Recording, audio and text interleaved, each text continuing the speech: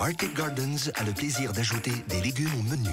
Mon ami et moi, on aime ça cuisiner la mijoteuse. On aime ça quand ça mijote longtemps. Avec le chef Mathieu Cloutier, on va inventer une nouvelle recette de porc à la mijoteuse. Tu vas voir, José, des petits gestes, ça fait toute une différence dans un plat mijoté. Le mélange de mijoteuse contient tous les légumes essentiels. Votre plat n'en sera que plus savoureux. C'est toujours important d'utiliser deux fois les légumes. Une fois dans le bouillon, comme ça, ça disperse les saveurs. Puis à la fin, à la poêle, comme ça, on a des bons légumes vraiment croquants. Saisir le porc, bien le colorer, comme ça les saveurs restent à l'intérieur. Pour déglacer notre poêle, on peut utiliser soit du thé, un alcool fort ou un jus de pomme si on a des enfants. Avec les champignons et les oignons perlés, notre mijoté aura le goût désiré.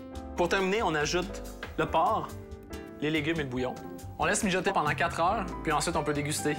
Bon appétit!